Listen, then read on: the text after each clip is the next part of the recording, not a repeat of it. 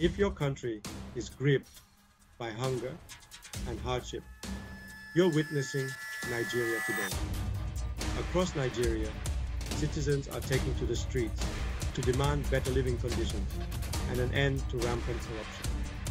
Fueled by social media, these protests reflect deep-seated frustration with the government's failure to address soaring inflation and economic challenges.